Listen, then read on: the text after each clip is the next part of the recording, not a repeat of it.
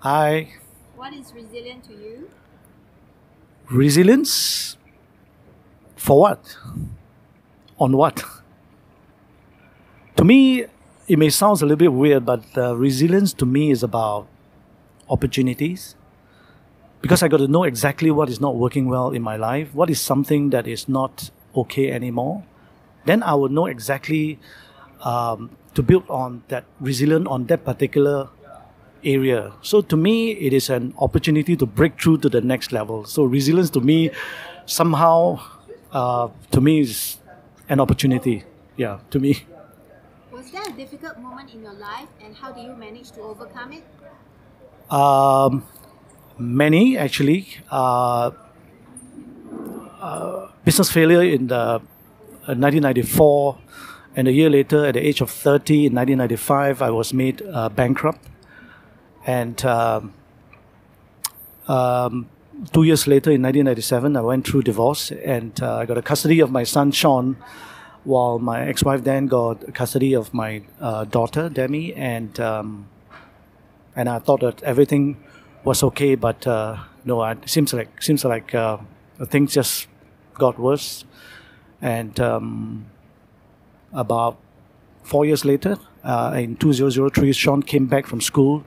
He got a very bad uh, headache, and we we brought uh, him to the hospital. And uh, uh, doctor done a uh, CT scan on, on his brain, and they found there was a 4 cm tumor in his brain. And um, um, they have to push in for a, almost an immediate operation so um, after the operation, a week uh, later, the doctor uh, called me, and I can still remember the pronouncement that uh, Sean was diagnosed with a last stage uh, brain uh, cancer. It was really very rare for a, a child, according to the doctor. But um, he fought, and uh, it was a very tough time for us.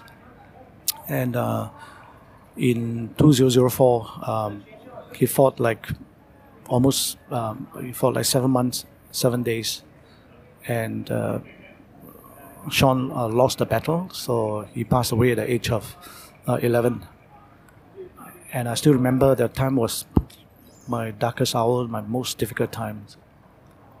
But of course, I mean, I don't know what I was doing actually then, and um, no, I want to end my life, but uh, there was a three promises I promised him, so I, I didn't, I didn't, I didn't really um, end end my life, but so my my life was still moving on, and uh, I still remember about ten months after he, he passed away, and um, uh, was once I entertained my client, I got myself into trouble. I was uh, stopped by a police uh, uh, for drink driving, and I was I mean, inside yeah, lockup, and uh, that's where I done a lot of reflection about my life.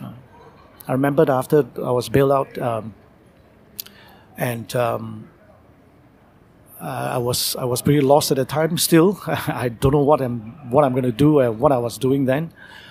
That's why I met a friend, and uh, that was a turning point for me. And he sat down and um, he says that Jimmy, um, you know, what are you going to do with your life?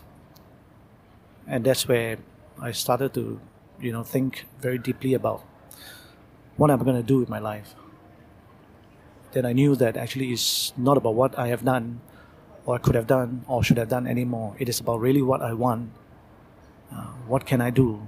And what will I do to get what I want? So to me, resilience is about opportunity to understand that what is something that is not working well and work on that particular area. I can just forget about all my dreams, my big dreams, but to work on this that that, that one area, to build resilience on the one area. What do I really want in that area? What level? What how how to create that breakthrough on that area? And if I can't even handle that area, I can forget about my big dreams.